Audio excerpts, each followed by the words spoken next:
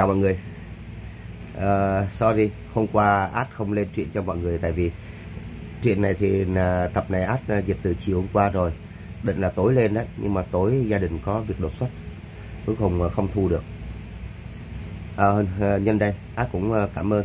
Trưa hôm qua là có bạn lê quang thịnh rồi chiều tối hôm qua có bạn quang à, có donat ủng hộ ad mỗi bạn 200 ad cảm ơn rất nhiều. Hôm nay bây giờ át, át ra tập này. Rồi ờ, bắt đầu át bắt tay dịch của tập của ngày hôm nay là tối nay sẽ lên. Tối nay chắc không có việc gì thì át sẽ lên. Không ờ, không có để qua ngày sau. Phú Đề Gia ở rễ chương 5672 đến chương 5676 vì mối quan hệ của Gia Luật Thương và Tiết Oánh cây gốc này đã được mọi người chú ý tới. Bây giờ Triệu Chấn Phong xuất hiện, Bùi Nguyên Minh ngăn cản, lập tức liền kinh bạo ánh mắt trong toàn trường. Đây không phải là Triệu Chấn Phong, Triệu Thiếu trong truyền thuyết hay sao? Hắn không phải đang ở tại biên thủy luyện binh hay sao? Thế nào lại xuất hiện ở đây rồi thế? Tiểu tử kia hình như là Bùi Nguyên Minh đã đánh bại Dương Phi à? Hiện tại thế mà muốn cùng Triệu Thiếu không qua được hay sao? Triệu Thiếu cho tới bây giờ cũng không phải là người luôn luôn nhân từ nương tay à. Cùng hắn không qua được, sẽ chết rất khó coi. Còn có người không quen biết với Triệu Chấn Phong, giờ phút này câu mày nói. Bùi Nguyên Minh kia, ta đã nghe nói qua, trước đây mấy ngày tại học viện Địa Tông phát lối vô cùng, cũng xem như người có mấy phần bản lĩnh thực sự. Triệu Chấn Phong có thể phế được hắn hay sao? Có người trực tiếp khịt mũi coi thường. Xem ra, ngươi là chưa nghe nói qua đại danh của Triệu Thiếu. Triệu Thiếu mặc dù chỉ là sinh viên năm ba mà thôi, nhưng vào năm thứ nhất, hắn liền được triệu tập nhập ngũ, đi một đội quân huyền thoại nào đó ở vùng biên ải. Nghe nói trong ba năm qua, hắn đã tham gia hàng trăm cuộc chiến lớn và xung đột quy mô nhỏ. Hiện tại, rất có thể đã là một đời bình vương. Mấu chốt nhất chính là, trừ việc bọn hắn có bối cảnh là người của triệu gia bộ tộc Đại Bằng ra. Hắn còn có được chỗ nhựa là bộ binh bộ biên thủy. Bên trong cửu đại binh bộ, binh bộ biên thủy mặc dù không phải là mạnh nhất, nhưng cũng không phải là thứ mà người bình thường có thể chống lại. Vừa nghe được những chuyện này, những người không biết chuyện về Triệu Chấn Phong kia, nhìn xem Triệu Chấn Phong bên trong ánh mắt đều tràn ngập kinh ngạc. Không ít nữ tử mềm mại nhìn xem thân ảnh Triệu Chấn Phong càng là tràn ngập sùng bái cùng nhu tình.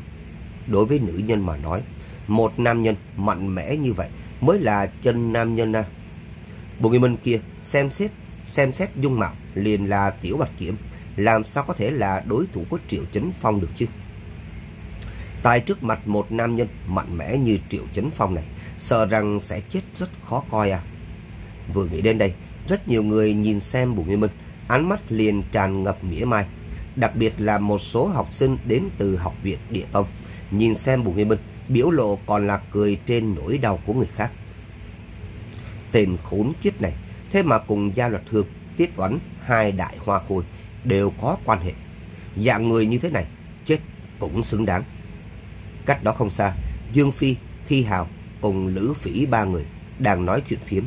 Đột nhiên, điện thoại Thi Hào chấn động một cái, Hắn cầm lên nhìn thoáng qua là bạn xấu đã gửi quy chắc tới. Nhìn mấy lần về sau, Thi Hào bỗng nhiên mỉm cười nói, Dương Thiếu, có kịch vui xem rồi. Dương Phi nhàn nhạt liếc mắt nhìn hắn nói, không nên quên mục đích tối nay chúng ta tới đây, xem kịch vui cái gì chứ.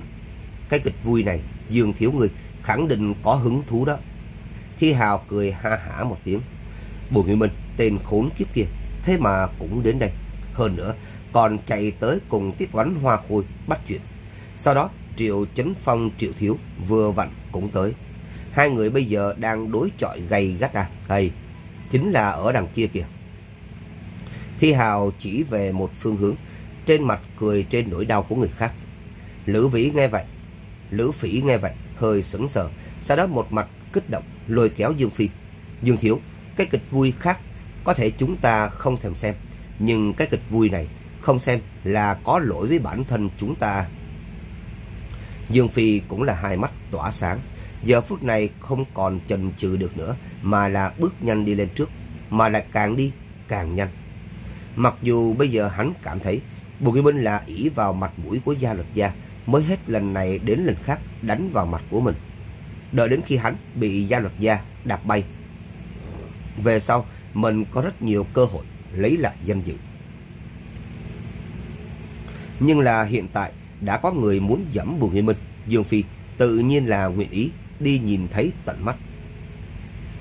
Cùng lúc đó, tại vị trí Bùi Huy Minh, một đám người. Gia luật thương đại mi cau lại, nhìn xem một màn dương cung bạt kiếm, giờ phút này tiến lên một bước, nói khẽ. Triệu thiếu, ta biết người quan tâm tới Tiết Oánh, nhưng Tiết Oánh quen biết một người bạn mà thôi, không cần phải tìm ngươi để báo lại à.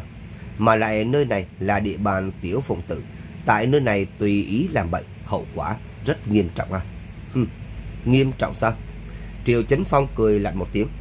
Tiểu phụng tử còn dám không cho binh bộ biên thủy chúng ta mặt mũi hay sao?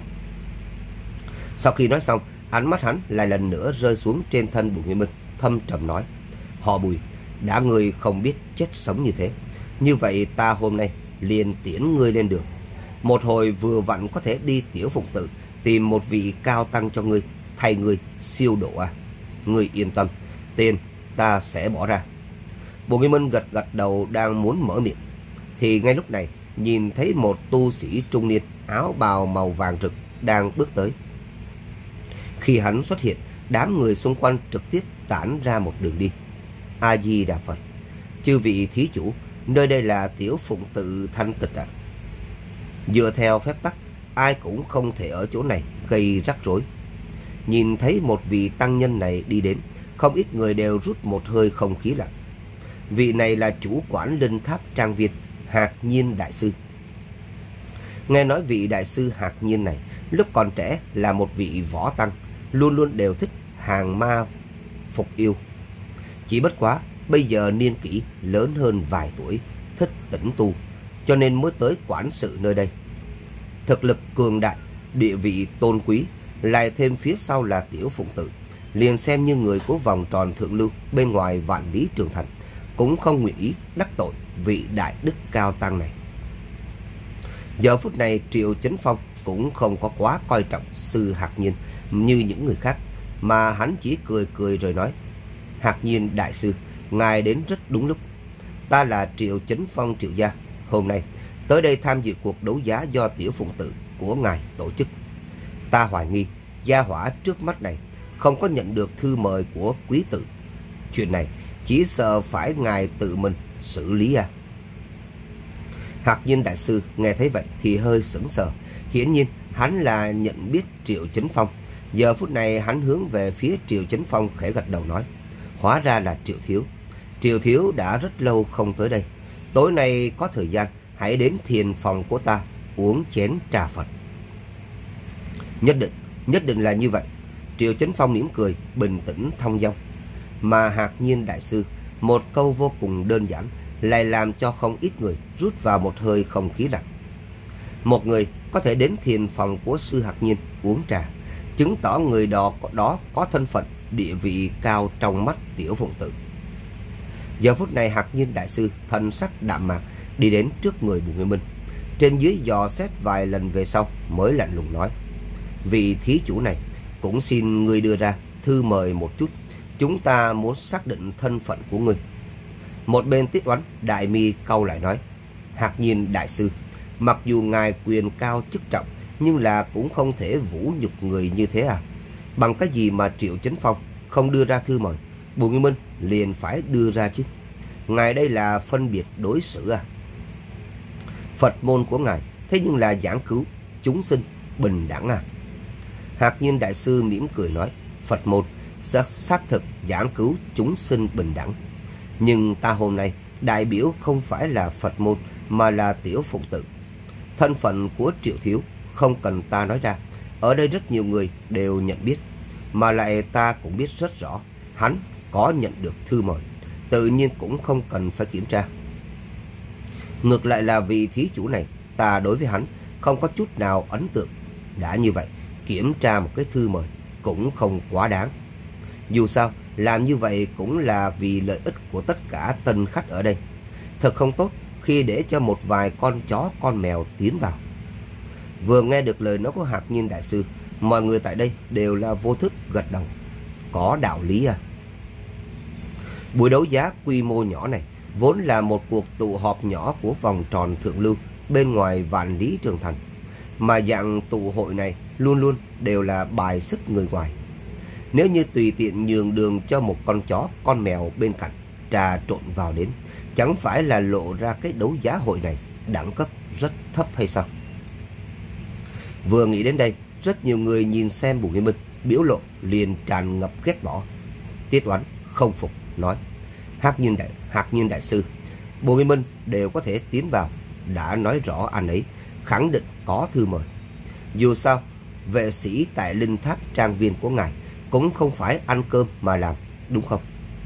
Nghe được Tiết Oánh nói chuyện giúp đỡ Bùi Nguyên Minh như thế, Triệu Chấn Phong nguyên bản chuẩn bị tiếp tục xem kịch vui, cười nhạo một tiếng, chậm rãi nói.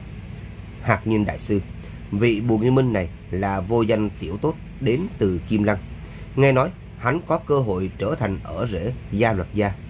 Đừng nói, hắn hiện tại còn không phải là ở rễ gia luật gia, liền xem như một tên ở rễ, cũng không có tư cách tới đây tham gia đấu giá hội này. Nghe nói như thế, bốn phía lập tức truyền ra tiếng cười trào phúng. Tiểu tử này thật thú vị à, muốn làm ở rễ gia luật gia, còn dám dây dưa với tiết toán sao? Nếu không, làm thế nào có thể làm tiểu bạch kiểm được à? Tiểu bạch kiểm không phải là thích dây dưa người này, gạ gẫm người kia hay sao chứ? Ngay cả hắn, dạng mặt hàng này, có thể có được thư mời đấu giá hội hay sao? Nói đùa. Đây quá thực là đang làm giảm cấp đẳng, giảm đẳng cấp cái đấu giá hội này à. Tiểu tử này xong đời rồi. Đều không cần tới triệu thiếu, giáo huấn hắn. Chỉ cần một cái hạt nhiên đại sư liền có thể để cho hắn chịu không nổi à. Không ít nữ lang xinh đẹp đánh giá Bùi Nguyên Minh, càng là một mặt biểu lộ khịt mũi coi thường. Nam nhân như vậy, đừng nói là theo đuổi các nàng, liền xem như làm liếm cẩu cho các nàng, các nàng đều cảm thấy mất mặt. Thí chủ, lời nói đều nói đến nước này, phiền phức ngài đưa thư mời lấy ra. Hạt nhân đại sư thần sắc đạm mặt, trong lời nói còn mang theo từng tia, từng tia hàn ý. Bằng không mà nói, thánh địa Phật môn chúng ta cũng là có thể khu trục khách nhân. Nói bóng gió, chính là Bồ Nguyên Minh nếu không phối hợp liền phải đem anh ném ra ngoài. Bồ Nguyên Minh tùy ý nhìn hạt nhiên đại sư một chút rồi nói, ta không có thư mời. Vừa nghe nói như thế, toàn trường phát ra một trận âm thanh mỉa mai. Triều Chấn Phong càng là chấp hai tay sau lưng, cao cao tại thượng, nhìn xuống Bùi Viên Minh. Quả nhiên là thế. Một con bò sát trên mặt đất mà thôi, lại dám cùng mình tranh đoạt nữ nhân hay sao? Dạng bò sát này dẫm chết hắn, đều ngại làm bẩn giày của mình à. Không có thư mời sao? Hạt nhân đại sư khẽ nhíu mày. Những cuộc đấu giá do hắn chủ trì từ trước đến nay đều nổi tiếng là bí mật và an toàn. Bị một người không đủ tư cách tùy tiện trà trộn vào, ngày sau truyền đi, thanh danh của hắn coi như phế bỏ à. Bùi đồng học của chúng ta sợ là xảy ra chuyện lớn rồi. Ở một bên, Lữ Phỉ hai tay bóp ngực, nhìn lên nhìn xuống Bùi Nguyên Minh, trong mắt đều là khịt mũi coi thường. Bùi Nguyên Minh giờ phút này mất mặt càng lớn, hạ tràng càng thê lương, nàng liền càng vui vẻ. Thi Hào giờ phút này vuốt về cánh tay bằng bó thạch cao của mình, cười gằn nói, tiểu tử này, cho là mình thân thủ tốt một chút, có thể đánh một chút, liền có thể lẫn vào cái vòng tròn này của chúng ta rồi sao?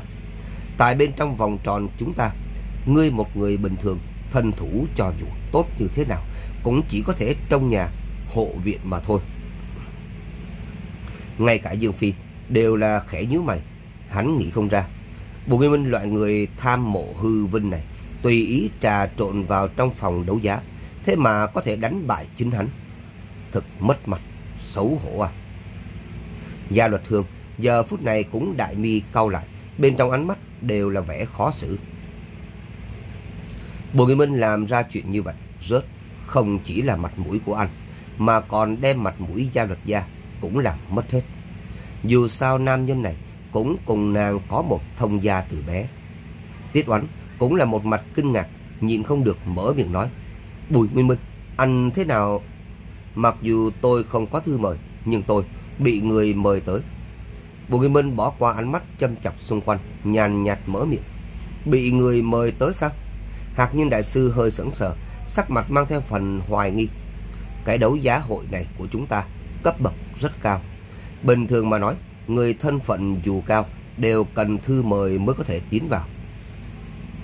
Tại toàn bộ bên ngoài vạn lý trường thành, chỉ có mấy người mới có tư cách mở miệng mời người ngoài tới tham gia cái buổi đấu giá này.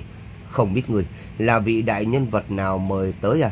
Cũng xin nói rõ ra. bùi Nguyên Minh thần sắc đạm mạc thản nhiên nói. Chính người gọi điện thoại hỏi một chút đi. Chẳng phải sẽ liền biết hay sao?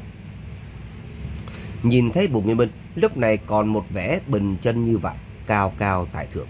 Hạc nhiên đại sư lập tức trong lòng cũng thầm than.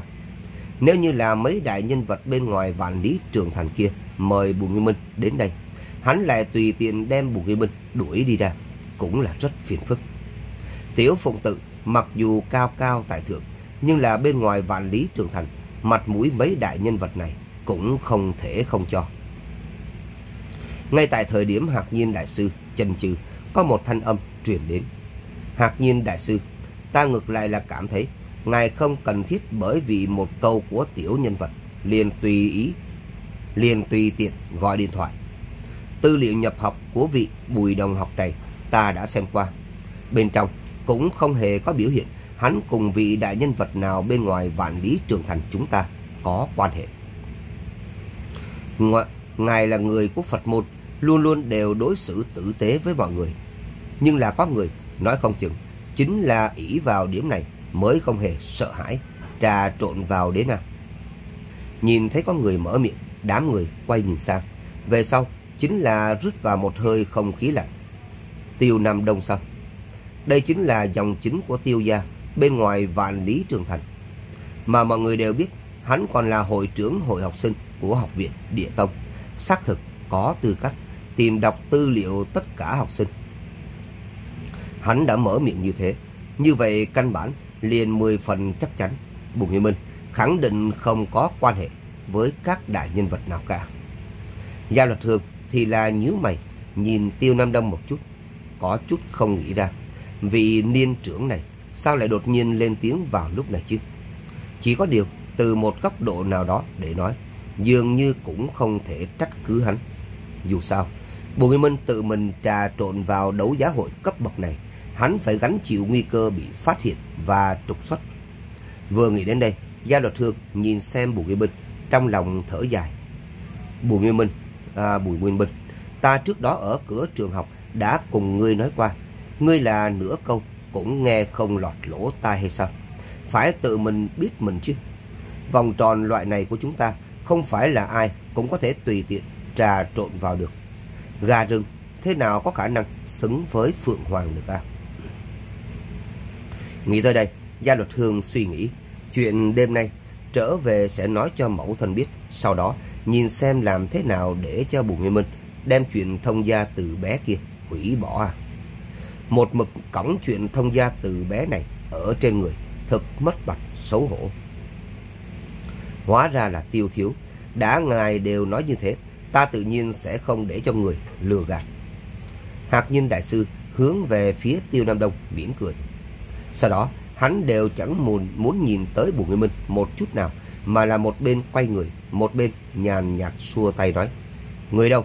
Đem hắn, ném ra bên ngoài. Luôn tiện, đánh gãy một cái chân, dạy cho hắn một bài học. Vừa nghe nói như thế, ánh mắt mọi người nhìn tới Bùi Nguyên Minh, bên trong sự mỉa mai, còn có nhiều hơn mấy phần thương hại. Vừa mới không chịu nhận sợ, bây giờ còn mặn miệng nữa hay sao? Hiện tại biết hậu quả hay chưa chứ? Vào tình huống này, dạng đại thiếu như Tiêu Nam Đông cùng Triệu Chính Phong đều có thể chứng minh thân phận và địa vị của Bùi Nguyên Minh. Còn có ai dám ra tới giúp hắn nói tốt hay sao? Mà lại mấu chốt nhất chính là tuy Tiêu Nam Đông nói gần, nói xa, nhưng ý tứ đã rất rõ ràng minh bạch. Đó chính là Bùi Nguyên Minh tuyệt đối không có cái quan hệ đặc thù gì chỉ là một người bình thường mà thôi. Dạng người này, ở đây vị nào lại không thể tùy tiện dẫm cho mấy cước chứ. Chỉ cần không sợ làm bẩn giày của mình là được. Lữ phỉ hừ lạnh một tiếng. Phế vật, chính là phế vật. Khí lực cho dù lớn cũng là đồ bỏ đi mà thôi. Thi Hào thì là vuốt ve lấy cánh tay trái của mình, suy nghĩ một hồi bằng không tốn ít tiền để người của Tiểu Phụng Tự hạ thủ hung ác một chút, đem tay Bùi Nguyên Minh cũng đánh gãy.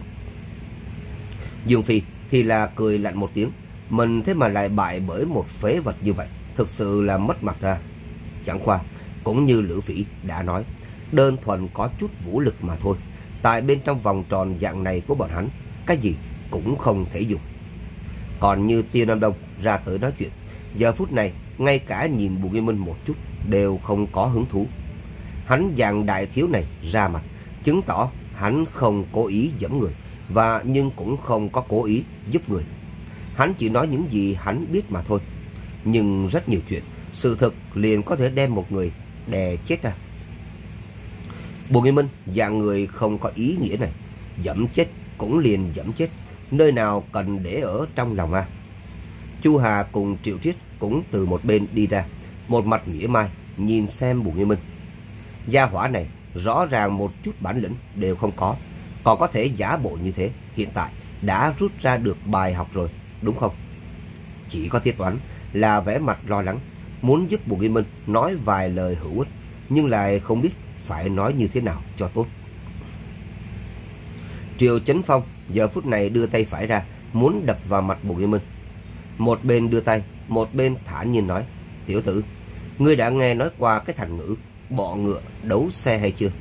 Trước mặt những người như chúng ta, ngươi chính là con bọ ngựa nhỏ nhỏ kia. mạnh miệng sao? Có chút thân thủ sao? Cái rắm để dùng đều không có à? Chỉ cần ta nói một câu, liền có thể để cho ngươi mất đi tất cả. Mà ngươi có thể làm gì được ta?